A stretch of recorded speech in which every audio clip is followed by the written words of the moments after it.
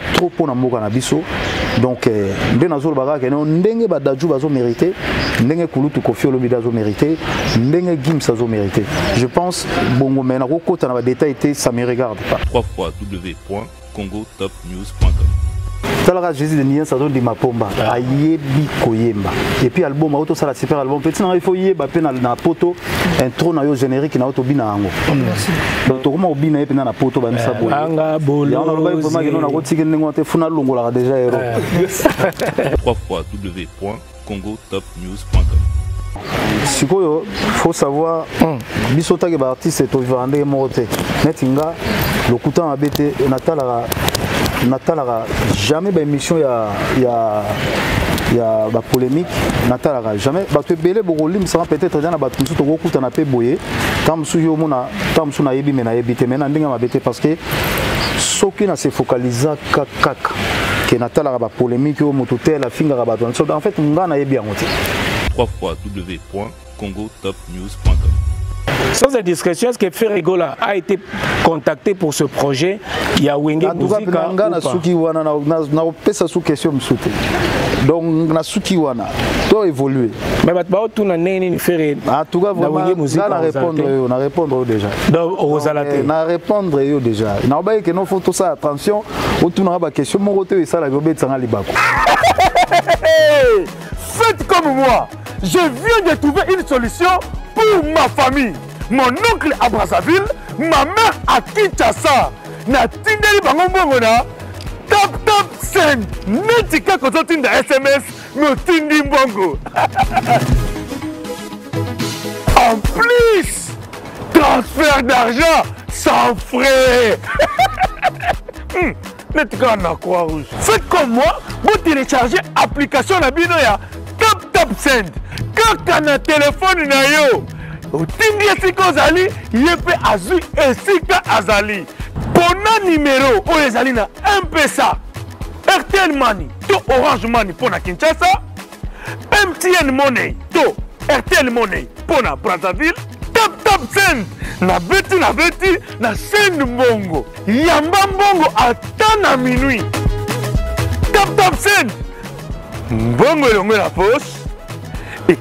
ekoti na ntombo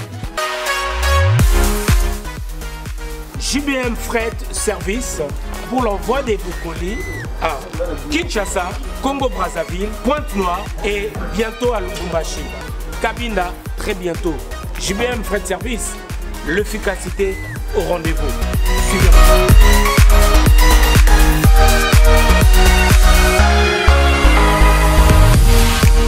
kasi te rendez-vous agence ya sur agence ya nguya agence ya bastar balobi so olingi kolino ekóma kitoko kolino yo ekóma na assurance yaka na jbm fret service mpo na bakoli na bino kinshasa braza partout oyo eza agence ya bastar donc nde toyebwe toyebi deya na bakuli nde boomona na nsima bodo ezokende mpe ezokoma kitoko oyo ezali agence ya bamiyibi te oyo ezali na assurance ya makasi meme bakiti meme bafrigo meme mituka soki mpe olingi mpe ndako mpe ekokoma jbm fret service l'efficacité au rendez-vous beto na bao différence yena il y a du sérieux ici pour tout contact veuillez nous appeler au 01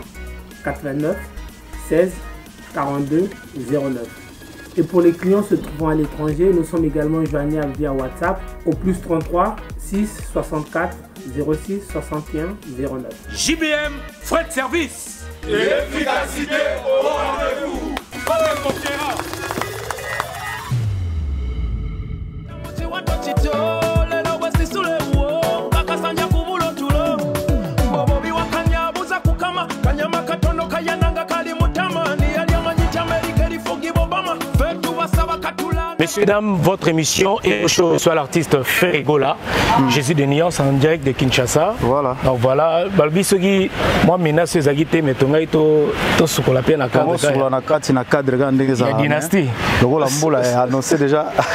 yango mpe ya mwa vert hein ah. ah. mai moko kitoko elengi ya congo to elengi ya kinshasa elengi yango congo eh, dosati d'endroit donc voilà voilà messieurs dames euh, hero show reçoit l'artiste ferregola ferregola dans votre émission merci hero show l'artiste est là messieurs dames voilà aujourd'hui nous allons essayer de parler sur cet album hein, Oeza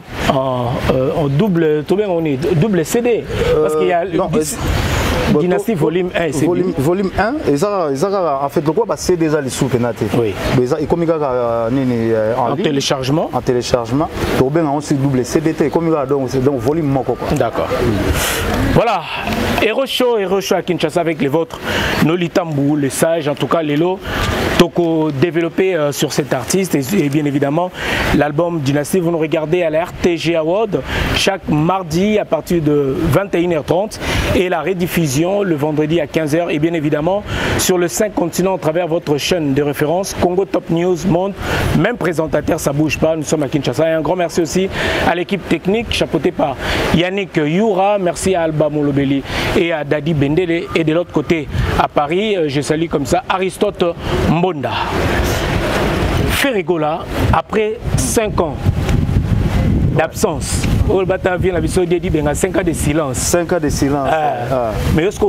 5 ans ah. et aujourd'hui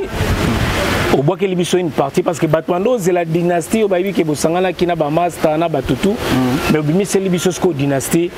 ya bastyle mosusu mm-hmm. pourquoi tout ce temps et dynastie lelo première partie kaka tolata volume ouais, nalobaka déjà mbote nao na bagaulois na bagauloise nyonso bazolanda biso par tout na monde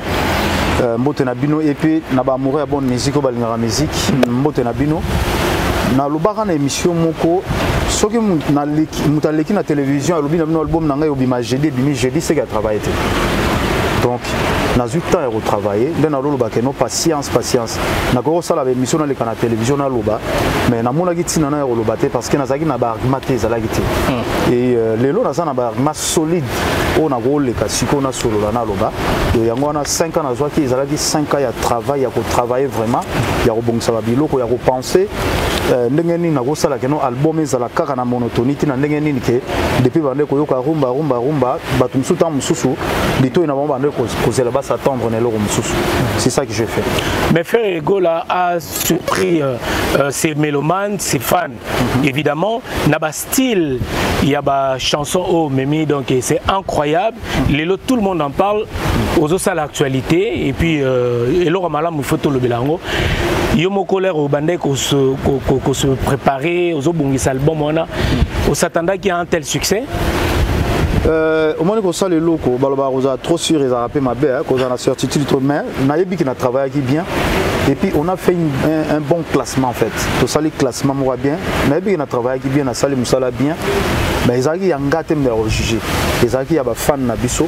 ya bagaulois na bagauloise na bagladiateur bango nde ezalaki ya bango nde bajuge e bato oyo nyonso bazoyoka yango bajuge yango eza bon ah, tant mieux biso côté na biso esali biso plaisir que notre travaillaki pendant 5 ans tosali ezalaki ya pamba te ezalaki 5 ans ya travail donc les gens vraiment baza koapprécie yango et puis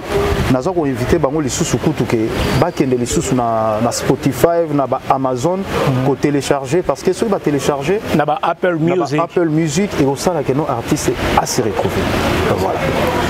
Et d'ailleurs aussi, il faut aller sur YouTube, bien évidemment, s'abonner dans la chaîne YouTube de l'artiste pour mhm. être informé en temps réel. Mhm. Et ça, la bien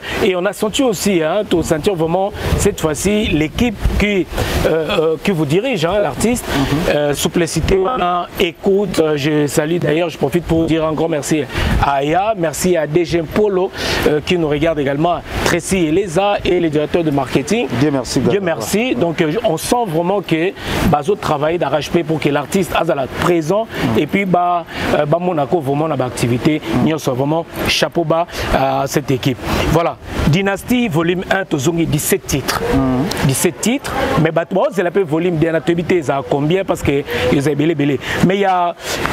des très très belles chansons oyo oh, ngai nalandi particulièrement mm. oyo oh, mpe captive ngai hein, rapidement na yoki c'est comme la chanson oyo tobimisa awa euh, royaume kunga. royaume kunga voilà déjà la chanson non ebimaki te teaser wana kaka déjà mm. bato bandaki kosatandela yango déjà ebele ebele mm. alors royaume kunga explique-nous un peu euh, olingaki omema nini fraîcheur nini na musique euh, congolaise oui nalingi namema en fait idée na ngai ezalaki lokola nasali style oyo ngai mona azobenga rumba trap alors na kirumba trap na ngai naza kose permettre ya kosala biloko nyonso parce que eza rumba trap ya style na ngai c'est à moi de proposer aux gens yango namona proposer bango royaume kunga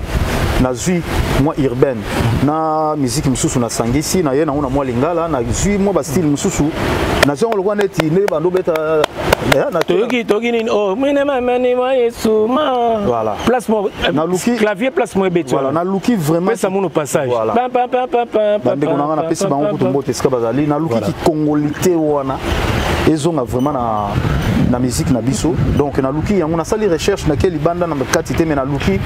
na musique na biso congolaise donc yango nalingaki nasala vraiment première eloko ba comprendre que nobe voilà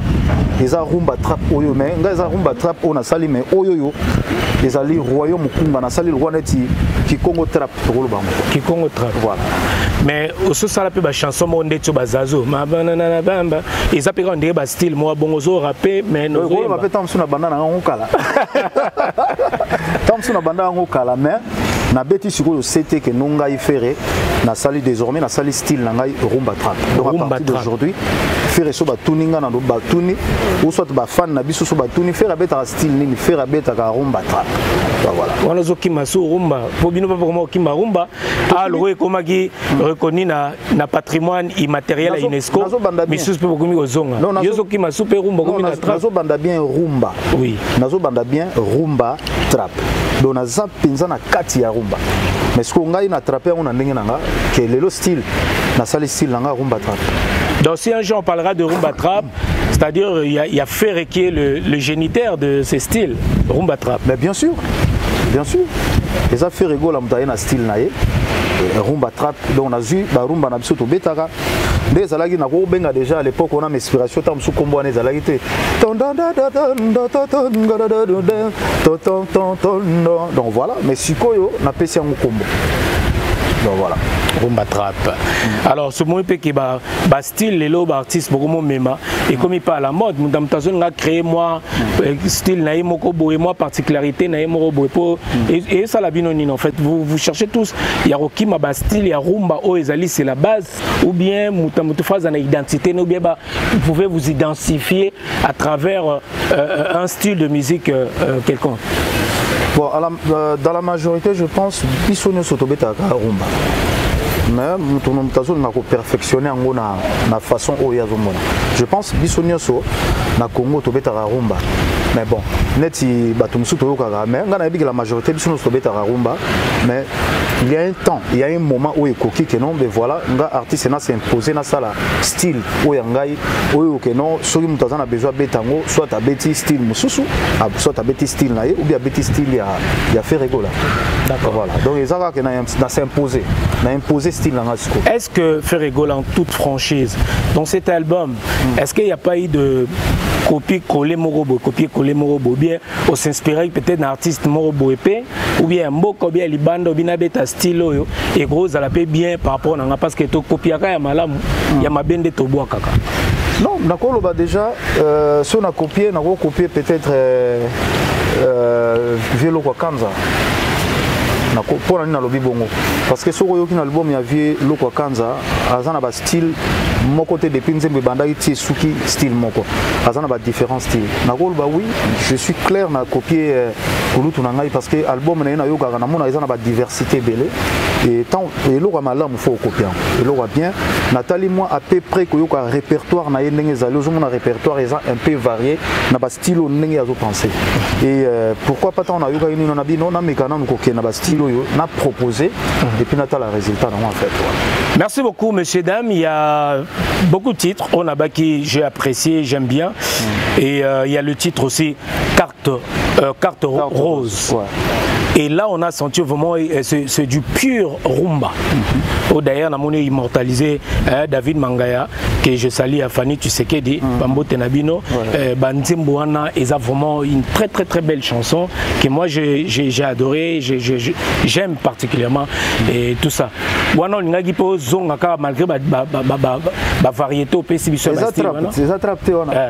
wana nde trap te wana ondire ba udemba pena yo ya te eza trap parce que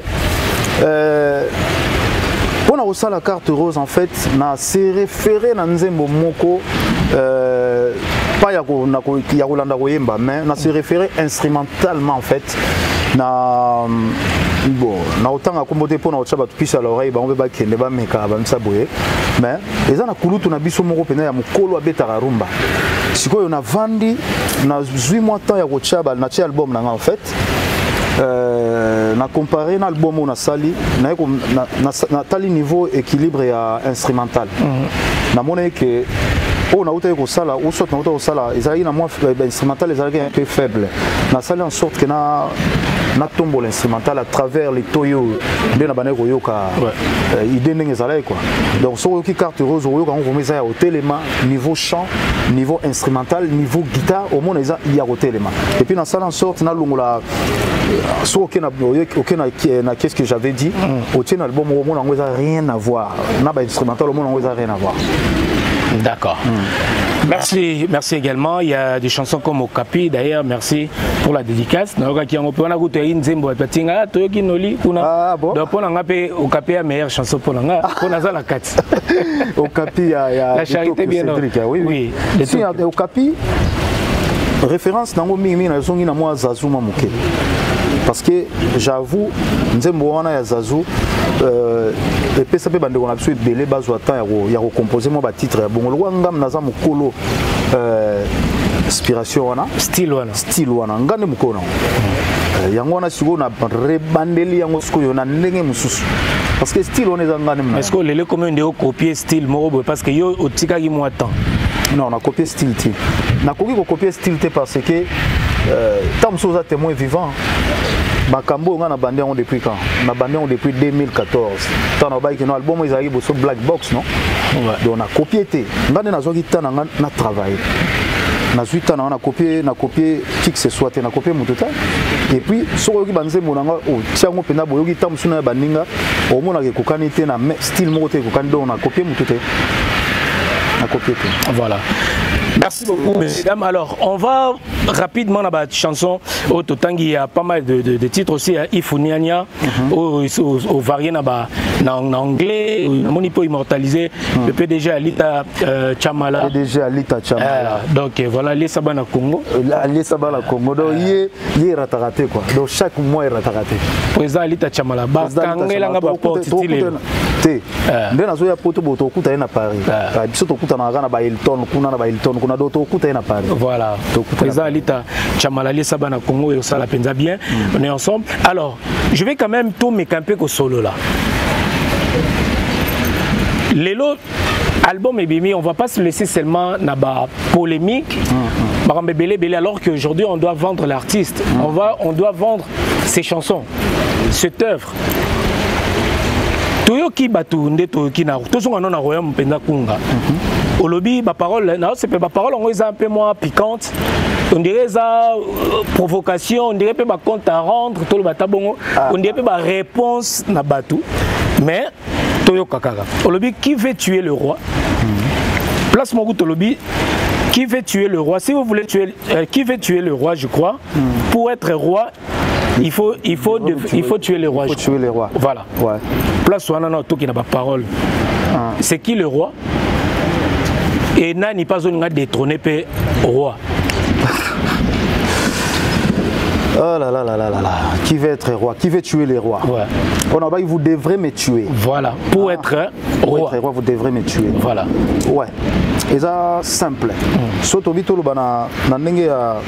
na ndenge ya bagénération je pense que no na ndenge ya bagénération toloba bien ngam naza yaya na ndenge ya bagénération ya biso oyo tolobaka babengaka ngo ni 6e génération 8e générationnamozo mikolo nde ekati bagénération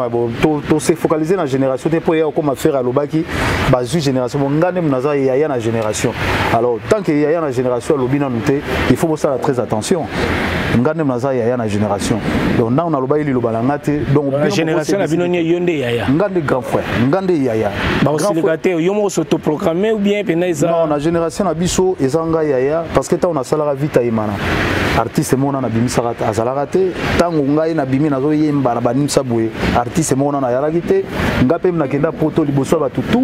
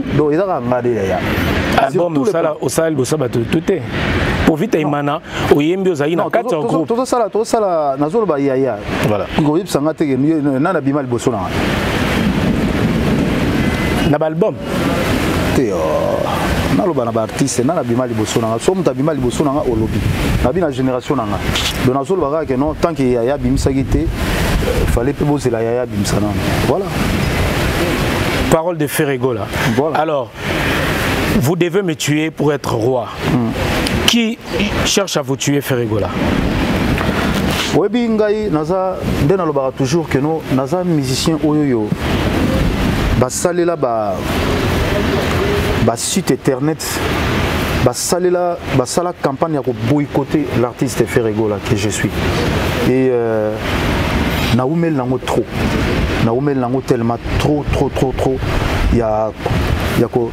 ko ya ko déstabiliser en fait ko déstabiliser tout ce que moi j'ai fait na loba na loba te ya ko déstabiliser en fait nango mettre bango encore plus à l'oreille que non ba il faut faire très attention nazalaki kaka nde osala boulot et euh, ntango nazoloba bongo parce que il y a des choses oyo eza c'est choquant oyo ntango mosusu keno bazofinga bazofinga na baparent tu vois c'est vraiment c'est un peu choquant mais bon loko eza matière ya travail ngai nasali kaka eza yango wana kaka nde oyo nazolakisa bino ke nombe voilà naza na yango mpenza na sang naza na yango mpenza na makila donc voilà c'est pour ça bitika bango basangana bayebele mais bakopakata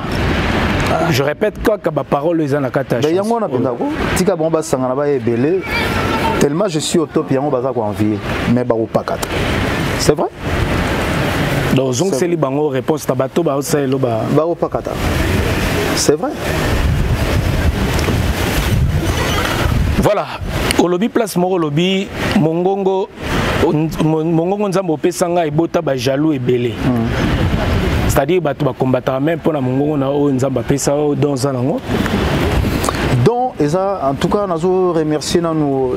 na mama aboti ngai parce que euh, ye nde aza nzambe assez hein, tu vois et euh, yo kanisi mpo na kocombattre ferregol eza kaka mongongo ti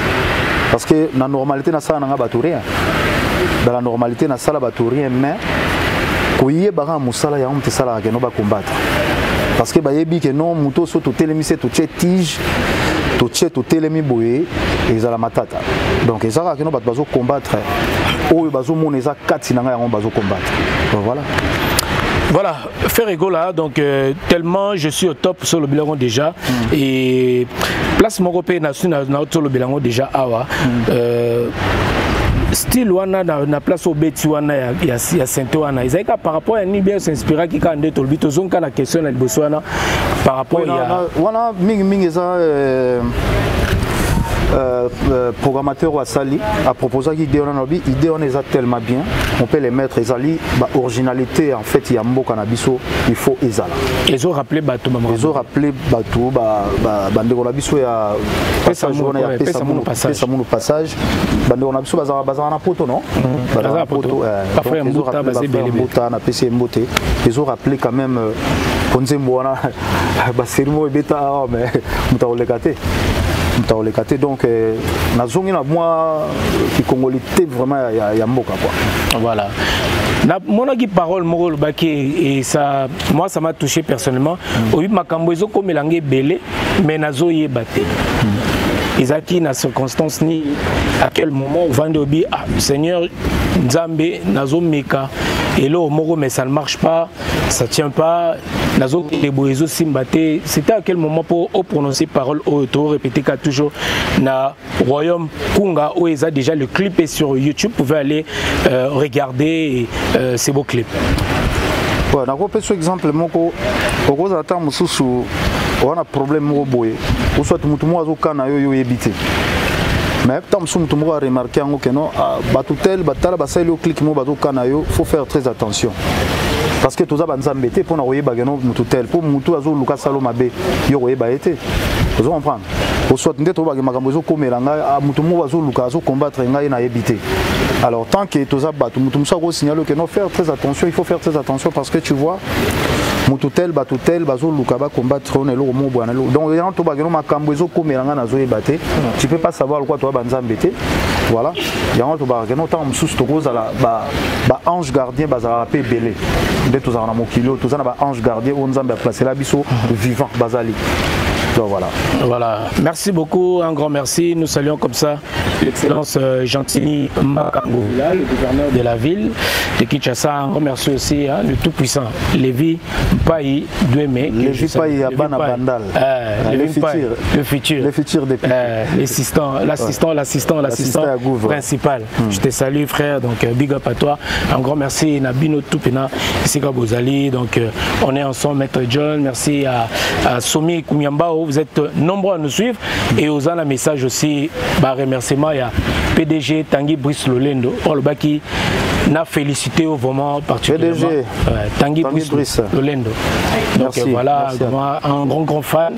et puis alingaka vraiment musique ya ferre euh, gola donc euh, jésus euh, de nuance messieurs dames tokota sikoyo na deuxième partie nayebi ke bachanson mosusu tokozwa temps ya kodecortique yango mm. baokapi bacarte rose bachanson eza ebele ya 17 chansons pouvez aller euh, écouter cette chanson aussi mais ifuniania wana oyembi na anglais wana mm. et tout et tout bato mingi ondire bamonaki ondire l'accent hmm. accent na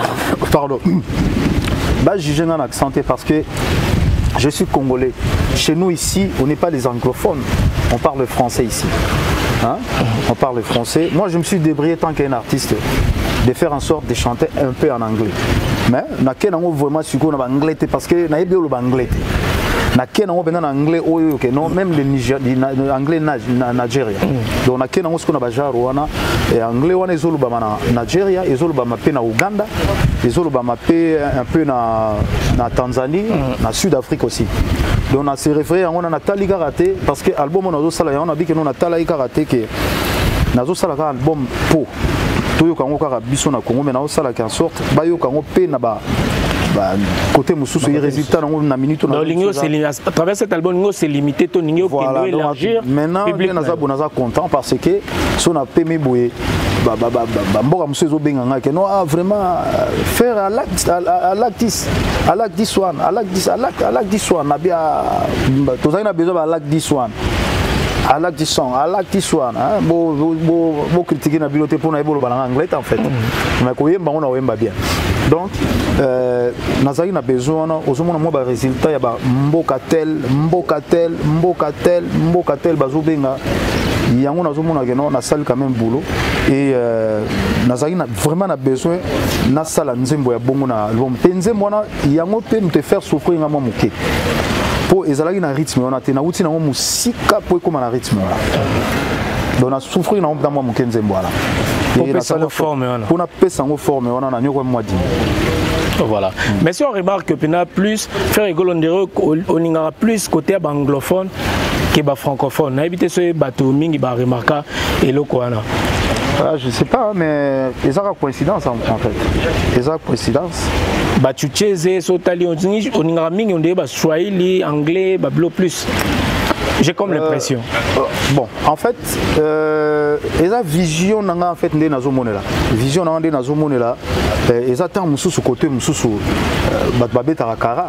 nabi ke non lokola babetaka kaka koto ntango mosusu nakenda na mwa vision oyoyo oh, eza kaka mwa vision eza te kino na euh, eza kaka vision ya nga nde nazomonela en fait voilà merci beaucoup alors tokota na volume 2 oyo toyebi bato bazelai plus mm -hmm. dynastie dynastie quand on parle de dynastie bato banda omona directement ferregola avec ses amis tolobaba JDT Moulopoe, Serge Mabiala, mm. Emile Alias,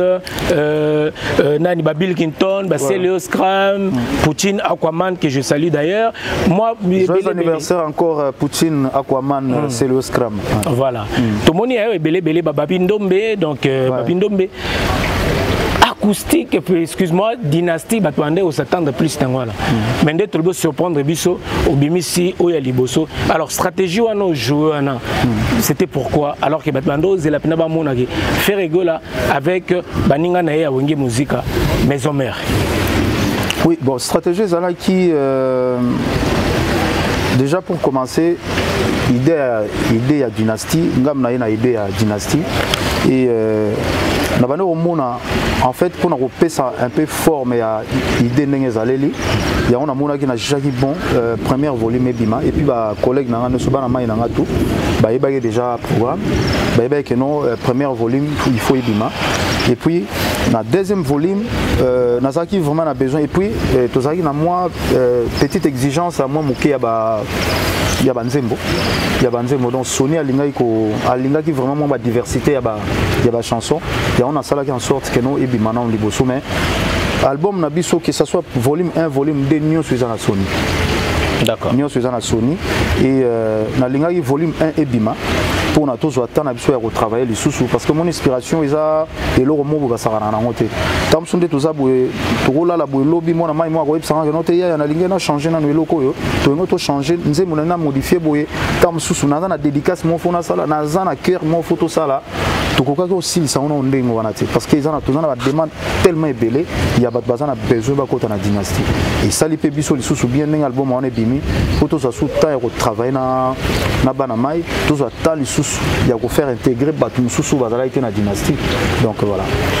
voilà tokaki est ce que baninga mosusu tolandi badéclaration mosusu semblerait que euh, baninga mosusu batiaki banzela te par exemple est ce que jdt aza toujours na projet wana bien aza mwa libanda non jdt aza na projet euh, toyembaki déjà na jdt toyemba déjà nzembo esila etikali oh, euh, tozalaka na studio wana oh, tozalaka na studio oyebi oyaka na studio yako kuta biso kutu tozalaki na banzembo mosusu tokosala badédicace donc tosalaki déjà euh, projet tosalaki programme toyemba déjà na jdt mais toyemba na jdt na nzembo na nga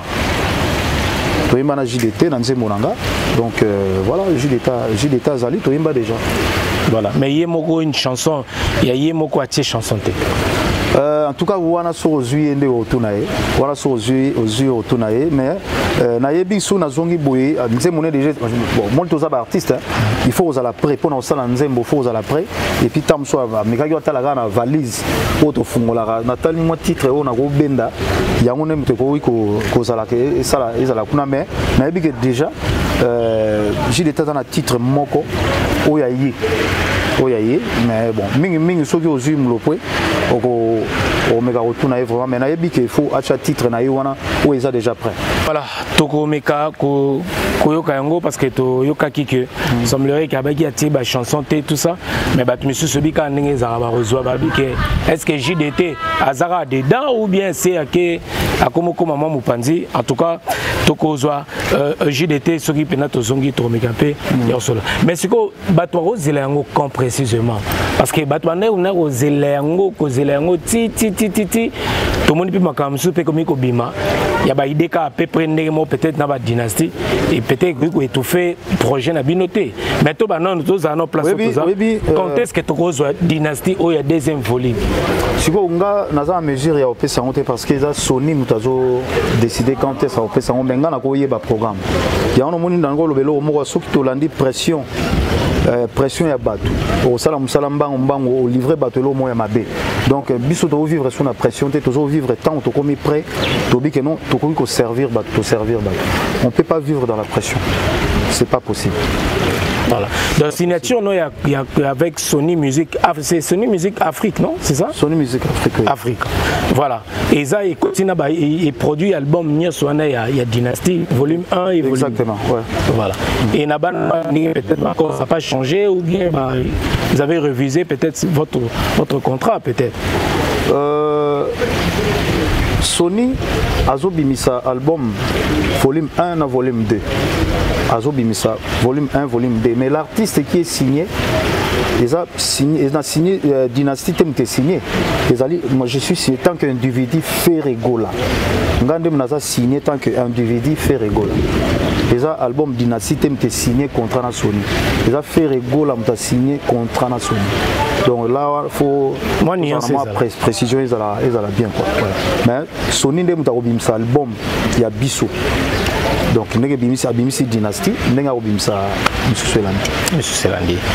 merci beaucoup na baprécision artiste ferre euh, gola tolobela mpe makambo oyo bato bayebi e eyosala debat bato bamoni wenge muzika 4x4 après 25 ans oyo bakabwana lelo tomoni basangani rencontre esalamaki avec le 4 administrateur na bato mosusu alors ferre gola komona Wenge Musique à 4x4 et Sangani oh yo moko pe vous faisiez partie aussi euh, de ces groupes quel était vos sentiments komona ndenge baninga basangani na bayaya baleki bino tu bosangani esalaki yo na ndenge nini en tant qu'un ancien de Wenge Musica 4x4 nalobaki yango déjà na émission moko nasepelaki nango eza bien initiative wana eza tellement bon très très bien nasepelaki nango nalobaki yango déjà tobeta susete nango nasi nabeti yango na émission moko boye bon a ah, eza erocho a ah, biso mokili mobimba hmm, talaka sepelaki na idéologie idéologie eza bien et euh, je pense que eza un peu similaire na oyo ya biso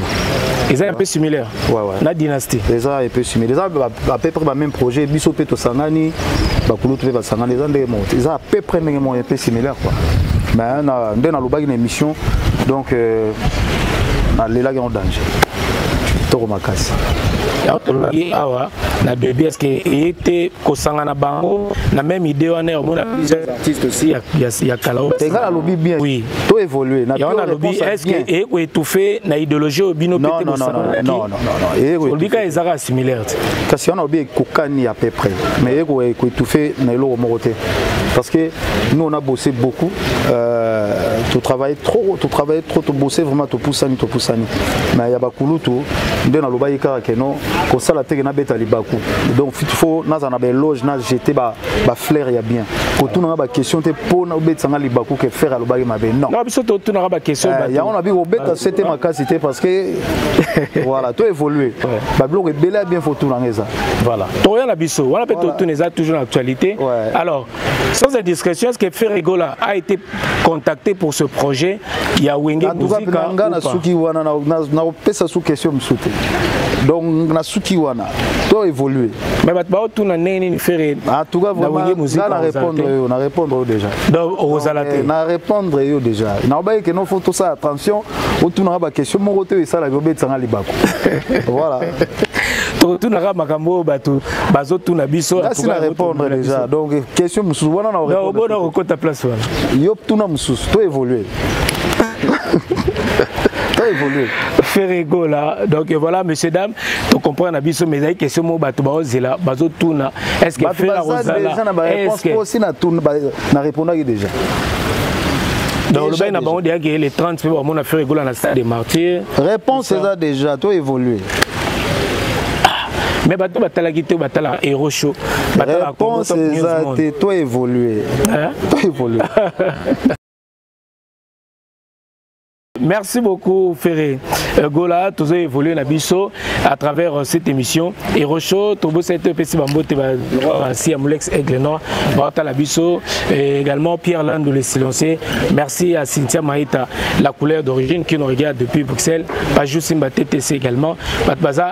ebele ebele baza euh, kotala biso so egolascor mpe après oyo ya ye un moment quand même bato euh, bamoni mpe faire egola na baprestation scénique te est ce que à travers cet album e motu moko atuna ye ngai abike faire aussi na bashowcase mhm. faire aza alingaka mpenza mpenza bashowcase te lui il aime bien être avec son groupe parce que bastyle tomoni obeti yo moko s'exprimer Euh, euh, oza trop individuel aussi côté wana est ce que yango te osala que frère egola bamona yo moko mpe na bashokese ndenge baexigence na yo olobaka toujours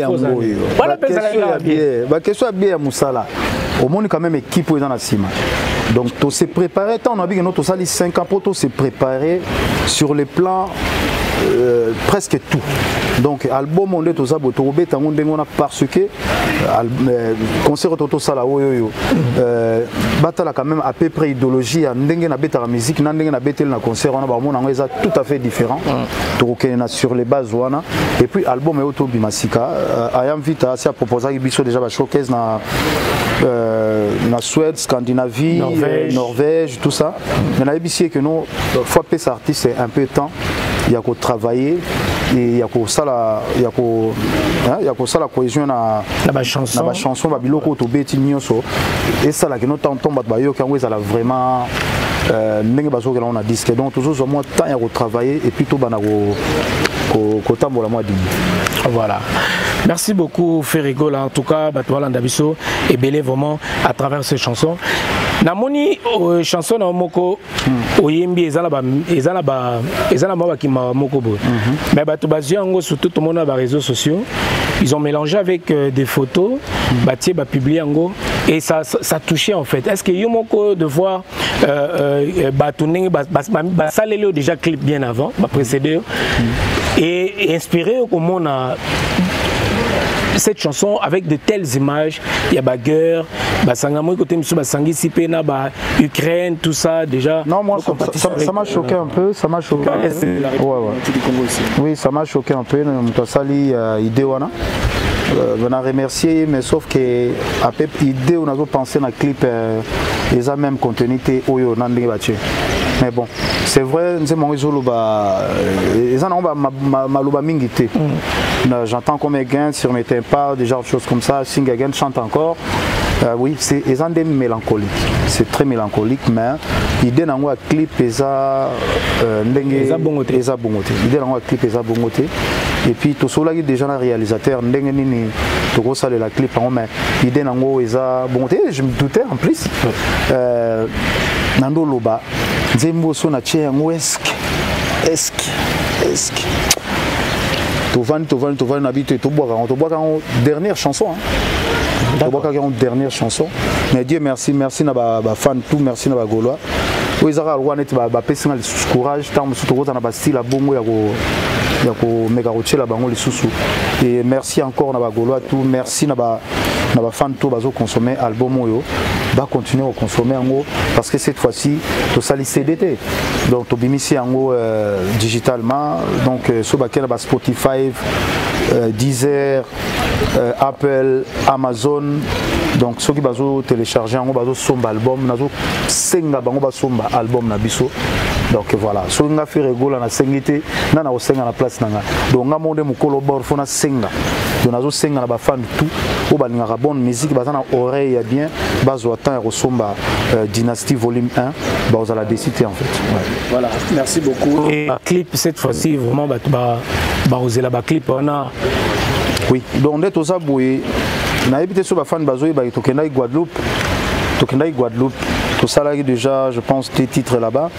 et euh, na afrique du sud toréalise batitre et euh, nde naza boye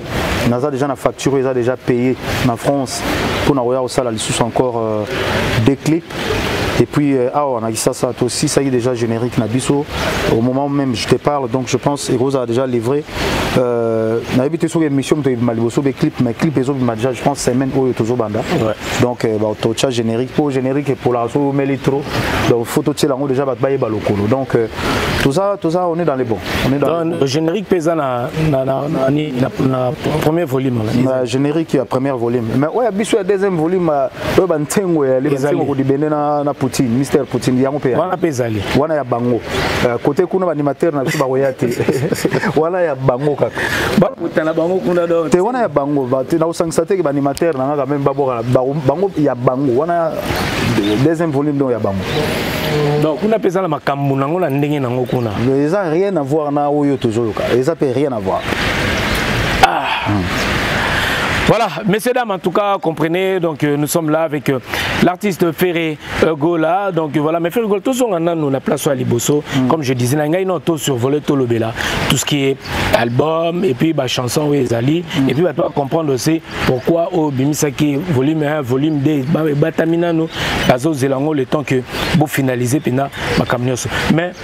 le 5 ans oyo yo ozwaki oyo ovandi oyo est ce que na musique ou bien par rapport à baninga est ce que moi retard ezwamaki te par rapport aux autres euh, sur le plan nini sur le plan nini oyo nakozwa retard sur le plan vie ou bien sur le plan quoi namoni te nazwaki retard te musique ezalaka na retard te yango nababi keno yango napesaka conseil na ba na bandeko na nga bajeune ba oyo bazoya mpe bayebaki miziki eza na retard te epuis moto aza liboso moto alobiki nakomi na miziki aza te meme nga nde nasali album boye nakomi te nasali na nga kaka album oyo eza bien mais nalobi te ke nakomi ke no ndenge nasali album boye bo naleki bino tout mpo nakomi te na comité donc musique moto akoma aza te donc nde balobaka grand prêtre na makambo ya bolingo alaka te hmm. comprendre omona exemple eh? grand prêtre na makambo ya bolingo azalaka te donc miziki moto akoma aza te preuve ane soki michael jackson azalaki fala abeta lisu ndula efala asala so album donc tant qu'on on va vivre on doit toujours travailler epuis ndenge tolobaka ke non na mosala moto akoma aza te parce qu'on doit toujours travailler moto amonaki aza milliardaire aza na mbongo ebele fala tika mais azocontinue toujours koinvestir donc na musique moto akoma te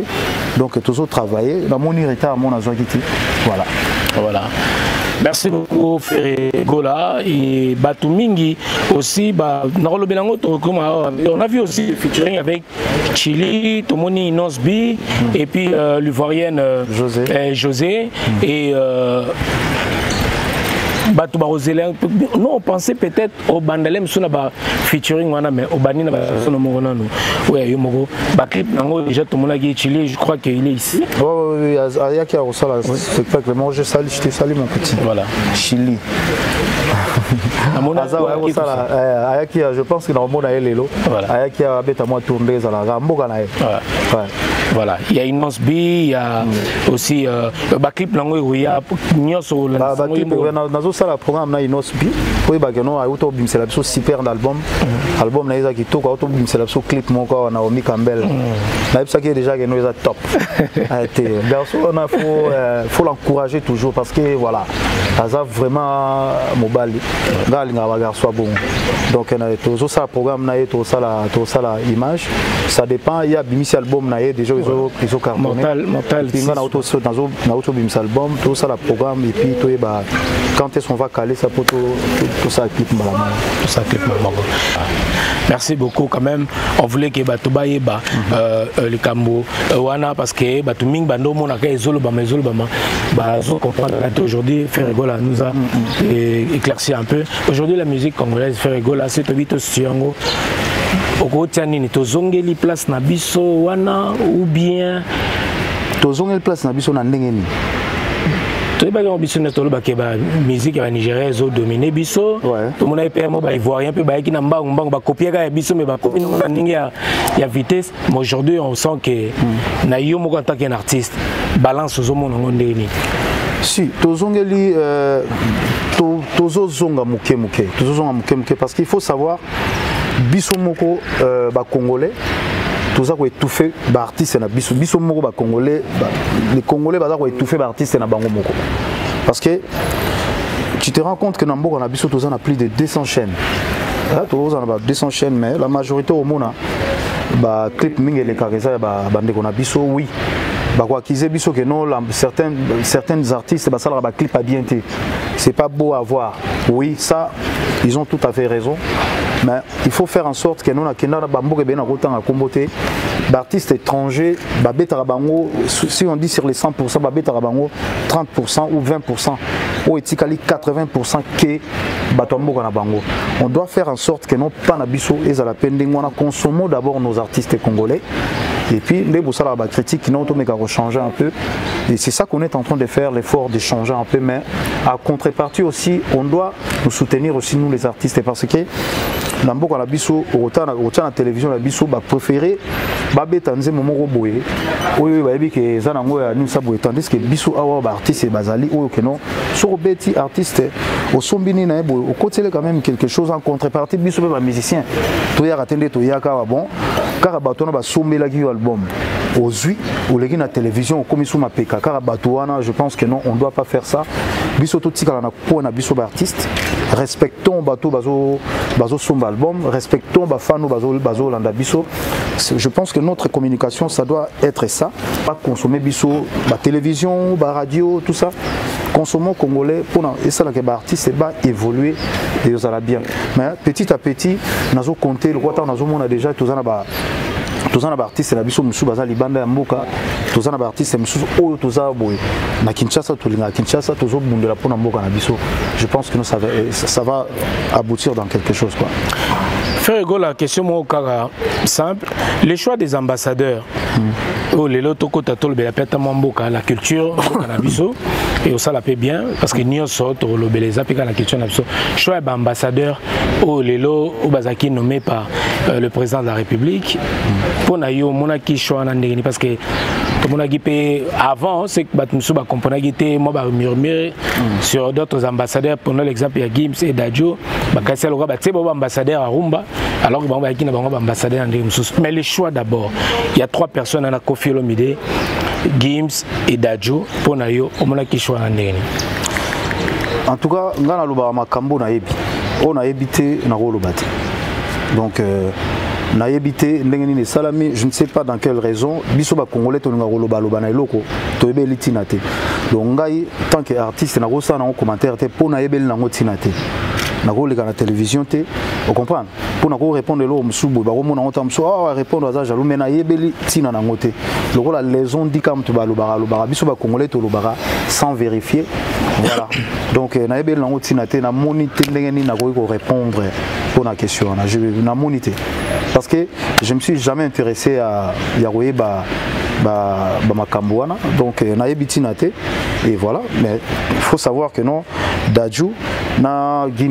Bas bazali ba ambassadeur ya mboka na biso baza ba ambassadeur ya mboka na biso bazali ba congolais bazali ba congolais bazo mériter droit nyonso ndenge congolais nyonso il faut mériter donc euh, côté wana nga mpo na ngai na kulutu na biso kofi olomide asali trop mpo na mboka na biso donc euh, nde nazoloba kaka keno ndenge badaju bazomérite ndenge kulutu kofi olomide azomérite ndenge gims azomérite je pense bongo mais nakokota na badetail te ça me regarde pas te ngai nabai kaka choix choix ya différentes personnes oyo nde ozotunela yango choix nde oyo ozotunela yango choix ezaka lokola eh, bazwi na échange po le mosusu atarumba batie tolobi kofi olomide mo olobi donc lokola ngai nayebi mozindo na yango te je pense ngai nasuki ya wala ah, voilà yango na ngai na comprendre mpe na idée na yo hmm. bachoix oyo basalaki wana soki vraiment ezalaki bien euh, ferregola et on a senti aussi tokotaka na même ordre d'idée mm. moi fraîcheur parce que toloba ke ba h wana ya guerre ya ba polémique aujourd'hui nde tozoloba faut totia yango de côté la polémique n'a plus de place c'est polémique ekozala nango mais na ndenge ke ya miziki concurrence moko loyale to voilà, voilà. et non déloyale esila te mpo na bamboka nyonso ezalaka nango mais tosala yango na ndenge ya, ya bien J'ai suivi une émission, Ken Nazoloba, euh, on a parlé de Kofi Olomide, on voit qu'aujourd'hui Frère Egola parle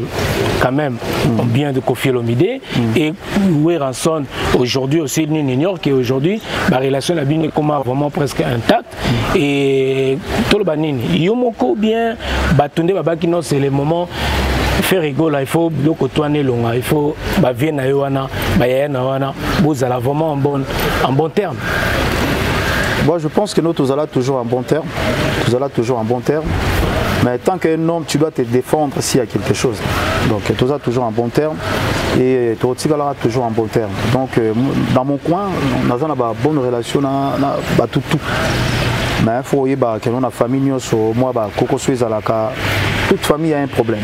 famille musicale ezalaka kaka na ba problème euh, moko boye na ba famille musicale c'est toujours comme ça mais je pense dans la majorité ferre ne avandi boye tokoli Hein, tokoli tozomona oyo eza important oyo eza na importance te oyo oyo aza important oyo oyo aza important te donc oyo ah non tu vois c'est comme ça donc euh, moi mutufu esalaka voilà Avant to banda ko kita na biso déjà Ferregola un mot pour la République démocratique du Congo mboka na biso RDC Ferregola mm. nini okoloba na RDC na ba congolais ba Holanda yo et peut-être nabi kolinga mpe mwa politique eh, mwa liloba eh, mboka na biso ezokende ndenge nini ferigola wa tokota na kote po kote wana mpe soki eza mpe bien te na question politique ekotika eh, boya mamba ya rdc mboka na biso hmm. mpo na kaka rdc surtout na baboka to mpenza tovandi boye tovandi na rdc eh, tovandi na rdc tovandi mpenza na rdc ngai nakoloba sikoyo kaka nakoloba mpo na mama mboka me nazongi na part ya biso moto na moto fo adefendre part oyo neti biso baartiste boye tozomérite tozala bien tozala bien considéré parce que tokenda na bamboka ebele mpa euh, na biso kaka nde tomonaka namonaka ondire baartiste ondire ba mais tokendaka pa tokenda na bamboka ebele lokola biso toza bato bacaméra te banini banini te banini te tokenda na bamboka ebele toza bien reçu ezalaka te midi à 14 heures te mpo omona moto te non ezalaka bongo te donc chez bamboka mosusu tokendaka eh, tuka ezalaka facilitaka bino tala kutu combien de fois tobeti na baguinée wana donc talaka na baguine nde elekaki donc euh, voilà na kote na biso bameka kotala mwa part na biso bamusicien tozobeta na poto te epuis toévoke kutu te keno tobetaki euh,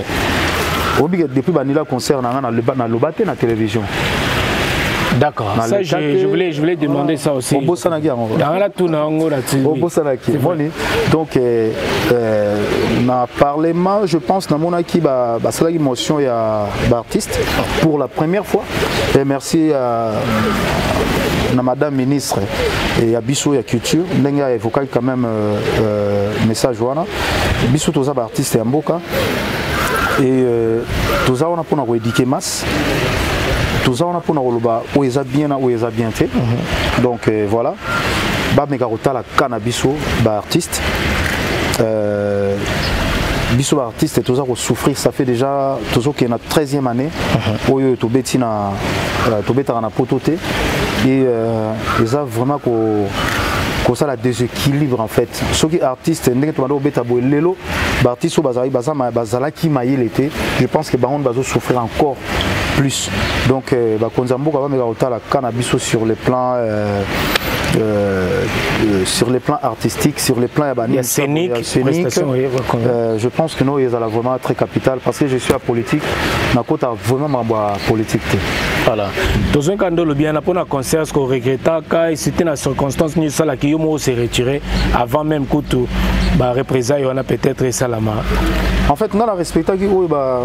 bandeko na biso bakombata balobaki eh, ndenge mpe eh, na televizio mpe nakosengaka bango nde tobimisi album oyo ke naza na posa naya kobeta na basale moko mitiki ya minene neti album oyo ezomerite vraiment basale moko boye mais ndenge nalobi ke naza na posa ya koya kobeta nakozwa ta na ngai natinda équipe tosolola tomeka to trouver terrain d'attente mpo bazala voilà donc naza na besoin ya koya kobeta na na salle moko ya monene na poto et euh, surtout na paris précisément ouais. et euh, voilà parce je que ça fait, longtemps, hein? ça fait longtemps ça ouais. fait longtemps je pense eza procédure ya okenda yango yango wana voilà. je sais pas si c'est ça quoi. merci beaucoup ferre gola donc euh, voilà malgré obi okota no politique nite mais ngai natuna quand même ndenge nini lelo ozomona mboka na biso ozomona ondeni kasi bon biso toyaka ya moko ye moyen semaine deux semaines yo oza journaliste yo ozomona ondeni wana sikoyo ba question te mboka ça va toi là tu bien mboka ça va ezalaka lobi bafacilité baartiste surtout accueil le respect encadrement surtout na makambo ebele ebele bafacilité bino makambo mosusu tout kolia bien banzela ya bien les embouteillages tout consort kolia bien kongola azala bien atanga bien ocomprendre baprofesseur bafuta bango bien bana bakenda classe bien so tosali toenglobe to en fait nous les congolais on a besoin de ça to vivre ndenge tomonaka bato bavivaka je pense qu'on a besoin de ça so nalobi na, na, nalobi en général quoi voilà merci frère egola va tokabona parce que tokodedie nzembo ya nini nalingi nakoba ya po ezali tachamala Avant comme tu ça poison, en même temps t'es antidote. Amour est ça unique, difficile à comprendre. So qui pour l'andiangwe, qui mi bangu rolembie. So qui pour qui mi angwe, komi kolanda yombangu. Alita Chamara. Mm. Euh, toza lisusu na docteur jeff njadi leteta euh, don de dieu miziki ekuba don de dieu napesi yo mbote esika ozali nayebi ke aza na bamboka ba états-unis kuna en tout cas don de dieu euh, mbote na yo mingi euh, sans whatsapp sans instagram euh, sans twitter il est parmi nous hmm. mais comment en esprit bien. il est parmi nous. Donc, euh, docteur, Alita, docteur Jeff, Jeff Jadil Alita. Ouais. Don de Dieu. Don de Dieu. Voilà. Donc euh, voilà, tout ça la dédicace vous voir batu nazo pesa na za bango ka baza na bango. Yannick Kayenga mon invisible sinanga Orsini Lumene euh, le banquier na pesi mbote na na Dem Sushai Shafi Japa na pesi mbote na na euh, Richard Lofombo mm. na pesi mbote na ya dada Ngwabana na pesi mbote na Shiko Mabele Mame na pesi mbote opérateur économique na pesi mbote na na Bera de Prince de Zamunda. Prince de Zamunda. Mm. Bera de Prince général. général. Fils Nkelele na pesi mbote, na pesi mbote baza ebele to sola mwa moke roya. Na pesi mbote na Dems Shai, na pesi mbote na naza ebele naza ebele dodo wet napesi ye mbote dj lutonadio napesi ye mbote ya le meilleur eh. Eh, bazalaki na soirée moko euta koleka napesi mbote na, na dj na biso mosusu susu dj ken dj ken mm. mapesi ye mbote voilà, ouais. voilà. Euh, toza na bato oyo basutenaka biso eza lokola neti kulutu na ngai vie na ngai euh, dadi soso mm. euh, de près de loin euh, azalaki kutu na matanga oyo tokufela belle mare na ye donc napesi ye bambote ya trop nayebi kazo séjourne ici na kinshasa mm. napesi ye bambote ya trop napesi mbote na na ba moke katanga euh, na moke katanga mona ki pe napesi ye mbote trop baza ensemble là ba moi vacances ba misa boye napesi mbote na dadi mavungu vungule sans oublier Toussaint Bumba Lissoy ah, euh, Fanta Fofana mama présidente napesi ye mbote trop napesi mbote na ba ba fille ya jet set nyonso napesi bango mbote ba eliki tenge napesi mbote na na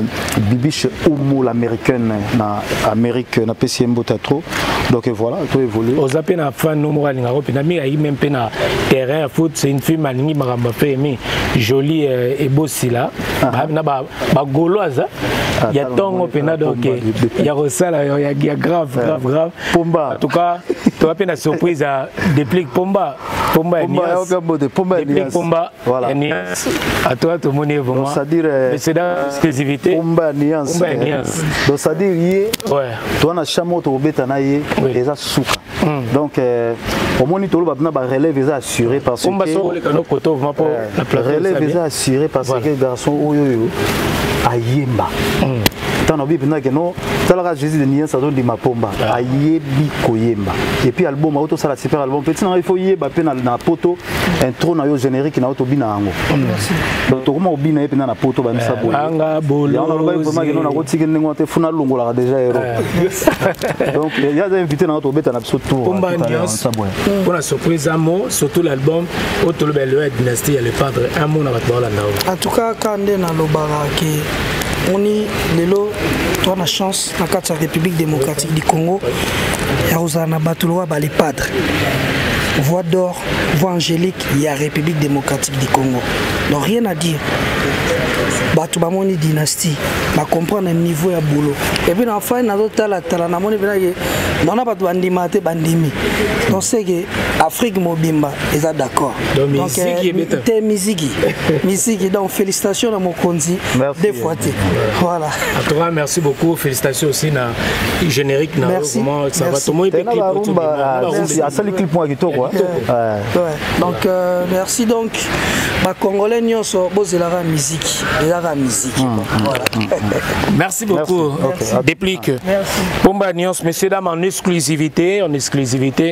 boye nde toza na besoin ya musique ya congo mm, mm. ya kozala boye ya kondima makulutu mm. epuis nde toanda oloba mpe aujourd'hui tomona mpe baleki na bino mpe mingi ba mm. mwa bamankuma mpe ya barespect esalaka bino nde ni omoni peut-être leki ozalaki no bien mais batirema azoboya azondima te ça vous fait comment on fait rigola non sikoyo faut savoir mm. biso take ba artiste tovivaka ndenge moko te neti nga lokuta mabe te natalaka natalaka jamais baémission ya, ya ya bapolémique natalaka jamais bato ebele bokolimbisaka peut-être eza na bato mosusu tokokutana mpe boye ntango mosusu yo omona ntango mosusu nayebi me nayebi te me na ndenge mabe te parce que soki na se focalisaka kaka ke natalaka bapolémique oyo moto tel afingaka bato en fait ngai nayebi yango te nayebi yango te mpe nazo reconnaître yango te baleki na biso wana il faut bopesa bango ba courage mpo nazo reconnaître yango te je pense baza nde nalobaka relève na biso mpe eza assuré il faut kopesa bango courage ya bapolémique wana fo botya bango na bapolémique te mais fo kotya bango mosala liboso je pense que ezala bien ya kotala ke no peti alobaki boye alobaki alobaki boye ça sert à rien du tout parce que baza na ba carrière ebele ya milayi su baosala bokompe na temps oyo ekomi siko ke bopropese mpe baleki bopesa mpe baleki ba chance malgré bino moko comme on dit euh, na langage kino bambiaka bozali quand même mm. mais faut kopesaka mpe chance na baleki mpo continuité ezali continuité ezali nde nalobi keno nde nalobi toloba déplic asali super album album na eza kitoko ozo comprendre azobundana tant que mobali bongo siko ngai yaya mpo na nini nakoya na kangeli neti ke petit non je pense biso il faut tozala tozala na cœur ouvert ya kondima baleki na biso ocomprendre mm -hmm. tokozala nini sabu ntango mosusu euh, bakoluka ngai à travers des pliques ou soit bazoluka des pliques à travers nga donc il faut en fait ezala vice versa en fait baleki na biso so baosalaka succès na bango il faut accepter ça eza nango rien voilà et changer nga fe regola te voilà. voilà merci beaucoup messieurs dames nous sommes arrivés à la fin malheureusement de cette émission le temps ah, nous est imparti donc euh, topesi un grand merci na charlie Mo, Mo, Moshi, Moshiko hein, Charlie Moshigo Comment donc, euh, Charlie Moshigo T'es Charlie Charlie Mo, Mo, Moshigo Moshigo eh. yende mutayembi biso ah na place oyo na place oyo donc Charlie eh. mutayembi biso ye na pesi mbote na Chirigo là mm. Yves Bonga bazalaki na soirée moko. Yves Bonga. Euh, Yves na raté yango Yves ya binoli Yves soirée simba ye koyo ka. Moko wa wa. Donc euh, voilà. Place ba yambi biso eza grâce à Charlie Moshigo yem tasali ke to sala émission awa na cadre oyo ndo omoni. To na flavor pena. Maître Amina Mokonzi Mbote, la pesi Mbote na DG Polo. Maître Amina Mokonzi azaka nde ana kisasa. Azali aza mwasi. Ah, ndawa na sepela na kombo me na ye bakate na Amina Mokonzi. Azala mwana mwasi la pesi Mbote na Euh, Enigma peut on a programme rapidement na moni programme eza le 7 mai toki ozana na mato ozana after ka to melaka moi champagne ndenge ezala ka jour yango ekoyinda mabe ya osala na toko alors programme na moni eza le 8 mai ozana Nigeria le 8 mai na Nigeria le et le 23 juillet juillet na na Côte d'Ivoire na Côte d'Ivoire donc ba concert eza prévu pour l'instant yango wana wana na groupe préparé na groupe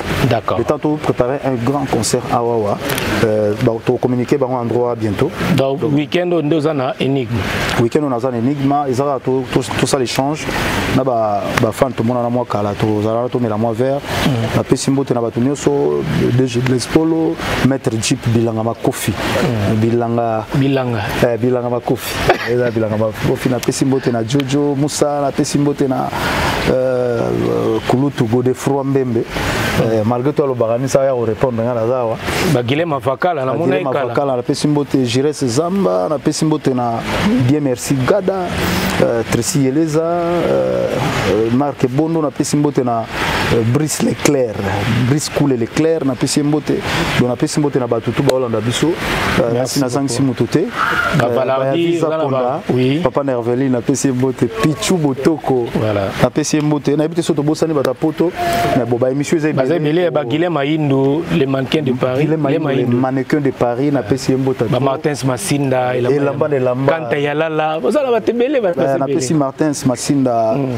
Eh, elamba na elamba napesi mbote napesi mbote na eh, ah, anita anita nise napesi ye mbote napesi mbote na fanta fufana mama présidente napesaki ye mbote napesi mbote na bafille na biso nyonso ya paris bafille na biso ya bruxelles mm. bafille na biso ya allemagne napesi mbote na batutu alors question moko oyeyela biso frère egola bago surtout bagolois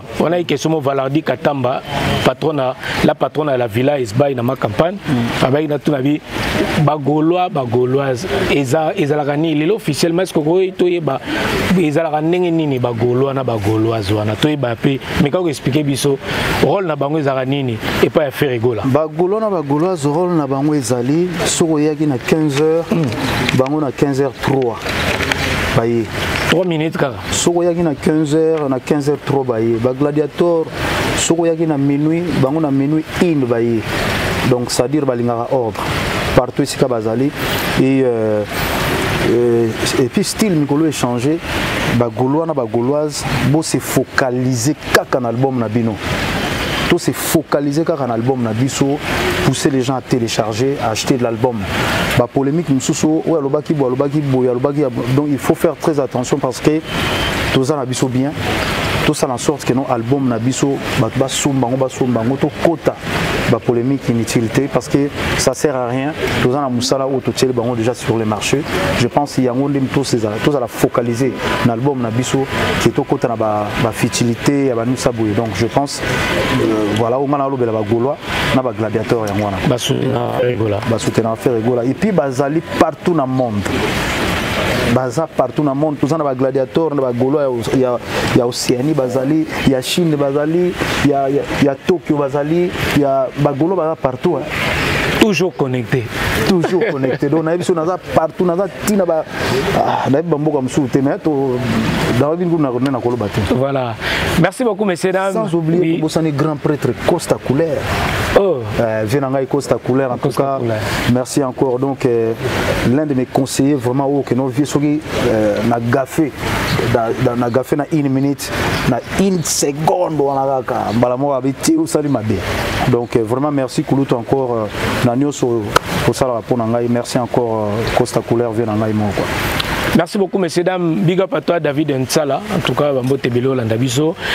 Na opesa Mbote Mingi, surtout vraiment, na staff tout à fait. Gola, je dis, na baki on a na début, mais na autant, na pena bakombo, à tout bazali, à pena, un grand merci surtout. Na nebo, facilité biso. Ya osalaka, ba émission boye, surtout, esalaka bien. Tout le monde a banqué, c'est monsieur, mon ok. Comme yo, non, yo, zarabu, non. La, le journaliste aza wana mpo na moto nyonso nous nous sommes l'église au milieu du village nde la bango l'éthique et la déontologie journalistique nous impose nous la presse de rester l'église au milieu du village c'est-à-dire ndeti ngai noli boye osomba nga nayebi te so osomba nga na combien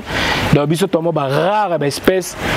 oyo mpo oluka osomba okosomba mpe te donc soki omeka ti naza insombamable nayebi te soki elobama totangaki prince berado non eh, totangaki prince berado trésor pemele nesha pindi plein de grâce totangaki bango totangaki bango dadi mavungu mpe azalaki de mavungu ah, le azalaki de voilà merci beaucoup pas dadi chose na ngola donc euh, dg blaise mpolo pichu botoko donc bambo tebele die merci gada je te salie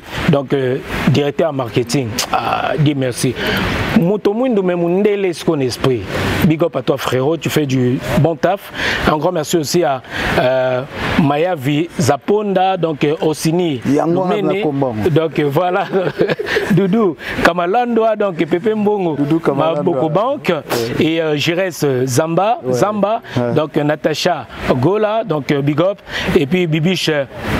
umu mm. bibiche umu uh, grand merci na yo e guilain mavakala babisi ngo oza na afrique du sud biso ozonga na congo nazonga déjà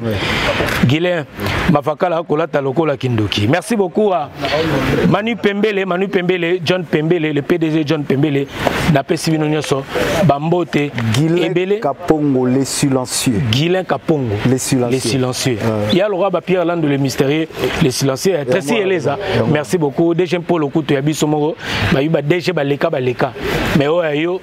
nayebi te quoi merci beaucoup Ferry Gola merci, merci à vous merci en tout cas merci na ndenge loba toujours mm. ya facilité biso ya osala na émission mm. en tout cas nga loba toujours merci pour la facilité wana ntango tobetaka porte ofungolelaka biso malgré ba conditions malgré ba oyo tokokutana yango mais opesaka toujours respectaka presse mm, mm, mm. et je tiens à vous signaler monsieur dame bino bolanda biso to conférence de presse moko ya monene ozala na paris mm-hmm. tokopesa bino date pour présenter l'album de l'artiste ferregola na place moko ya kitoko esika moko na kati ya paris wana donc veuillez nous contacter et puis tokopesa bino ba euh, programme surtout na manager eza te ngai mais na manager bokobenga ngai oza presse ya paris benga o oh, facilitaire ate mais benga topesi yo numero ya manager ya ferre gola puis mpo na euh, conférence de presse ou ferre gola face à la presse ekozala na kati ya paris merci beaucoup bakomba eza ebele bato baza baoma beauté l'expression de la beauté julia de milano boza mpena ebele ebele donc eh, waterlo mokonzi ya italie janis scramwell boza ebele ba héritier scramwellhéritier scramwell eh, eh. merci beaucoup frère egola trop na biso na suka un grand merci mm. en tout cas wana toutaki kaka kota piscine tozonga na biso merci beaucoup messieurs dames ne copiez pas mais innover merci beaucoup ciao ciao